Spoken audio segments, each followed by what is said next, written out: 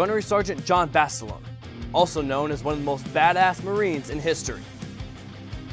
If you were to look in the dictionary, you'd probably see a picture of his face, but I digress.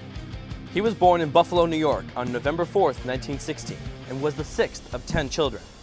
At 18, Basilone enlisted in the Army and did a short tour in the Philippines. He was given the nickname Manila John, named after the capital of the Philippines. Basilone was discharged from the Army in 1937. In 1940, Basilone enlisted in the Marine Corps because he felt it was his best shot to get back to the Philippines. Well, he got sent to Guantanamo Bay instead. Semper Gumby, right?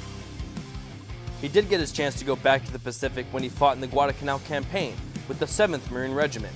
During the Second Battle of Henderson Field, Basilone directed his men's fire, repaired a machine gun mostly by the feel of his hands because of low lighting, and according to his Medal of Honor citation, his efforts contributed in large measure to the virtual annihilation of a Japanese regiment.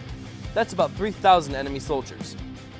After receiving his Medal of Honor, Basilone was sent back home to go on a war bond tour. By backing the attack and buying these war bonds. But all he wanted was to be back in the fight with his men.